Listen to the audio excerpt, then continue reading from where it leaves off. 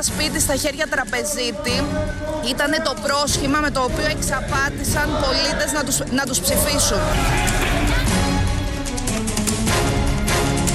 Το 70% της πρώτης κατοικίας στη χώρα προστατεύεται επαρκώς. Δεν προστατεύεται η πρώτη κατοικία.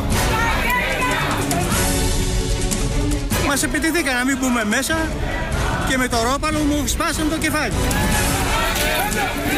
Πουτήξτε τον είναι! Οι συνδυασμοί είναι σημαντικοί όχι μόνο για να έχουμε καλές τράπεζες, αλλά και για αναπτυξιακούς και κοινωνικούς λόγους.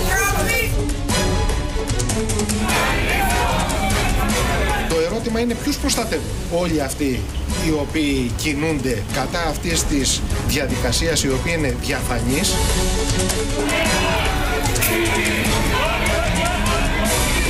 Χημικά σε κλειστό χώρο είναι μια ενέργεια για την οποία θα πρέπει να δώσει άμεσα εξηγήσεις στο Υπουργείο.